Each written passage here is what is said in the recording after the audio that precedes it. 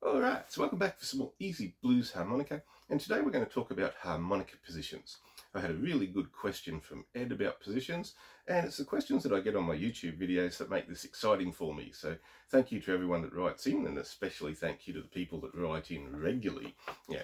So before the internet, about the only information on blues harmonica was this book here. And interestingly enough, the way that he describes positions um, would technically be wrong these days. So instead of talking about like music theory, I thought I'll just show you how positions work. So usually for harmonica, um, like, you know, for example, myself, I used to use the chart out of the Lee Oskar harmonicas, use that for like at least 20, 30 years. Um, chart that sort of tells you what the key of the song is and then which harmonica to pick if you want to play in first position, second position and third position. So what are the positions? Like, um, easy way is to show us on, let's start with our C harmonica. This is going to be one of the few videos where I use more than just a C harmonica. So C harmonica, major scale, that's sort of what it's designed to do.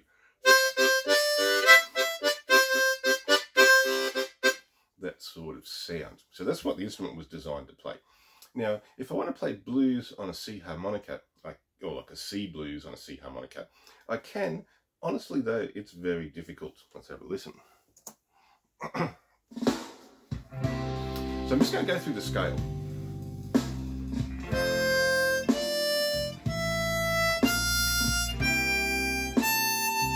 All sounds good sounds good. There's one note that's weird.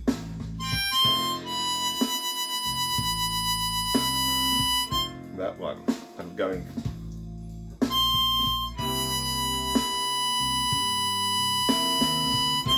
So, yeah, sort of strange.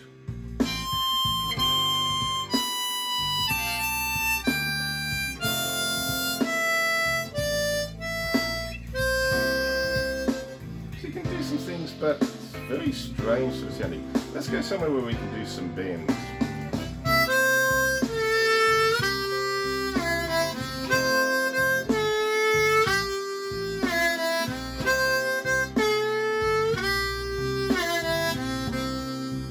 Much more bluesy.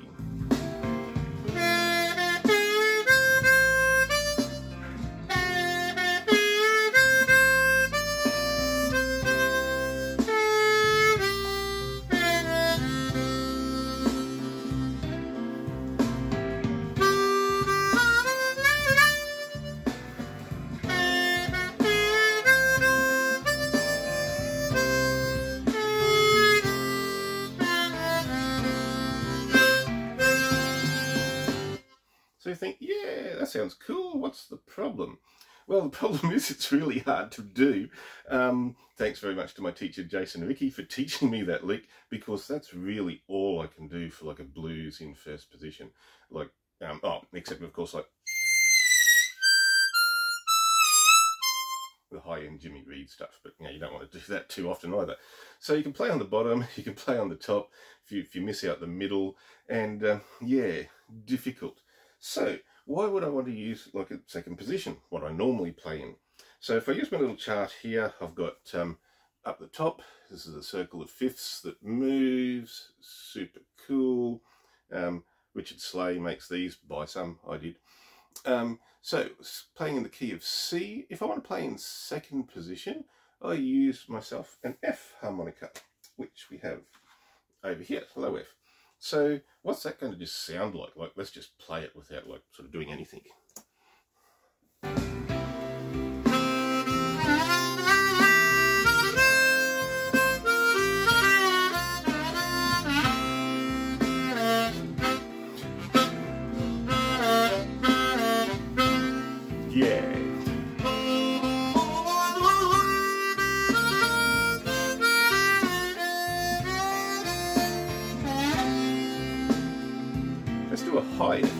Finish off. Just octave.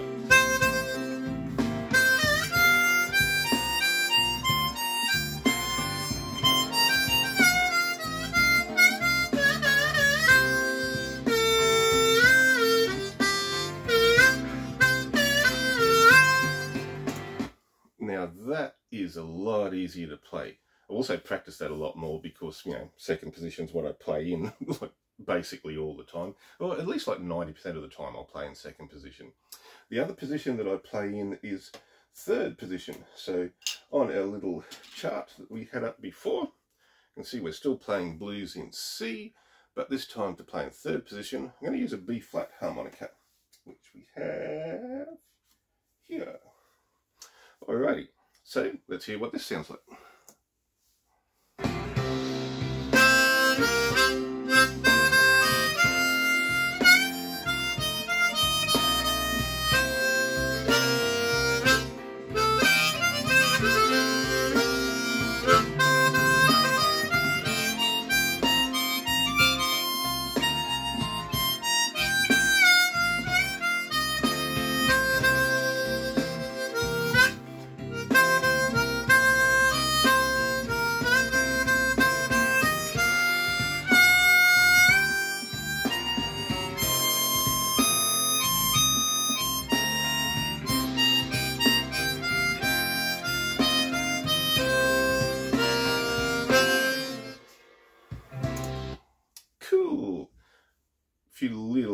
There.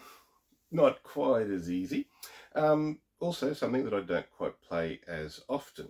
So they're the three positions, or the two positions that I use. I very rarely play, you know, in first position because of the music that I play. Like I'm playing blues. I do sit in with other bands and things, and um, yeah, something like that, um, you know, first position is very helpful. But you know, blues is sort of what we're talking about.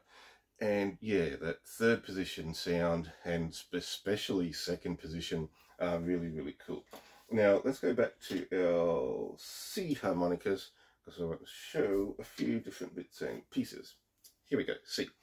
Now, why play, like why use different harps to do that sort of thing?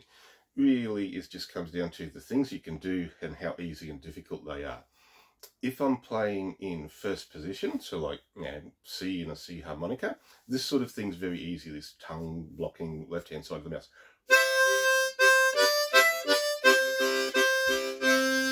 Also octave split. You've got the nice full chord. So you've got all those sort of sounds that you can use. But we don't have the nice expressive sort of bends that we can get in second position. So like this is like, you know, what makes playing in second position so cool and so fun. It's the bend and I'll hold, I'll put my hand up for like the notes that are cool. So I'll just play a scale.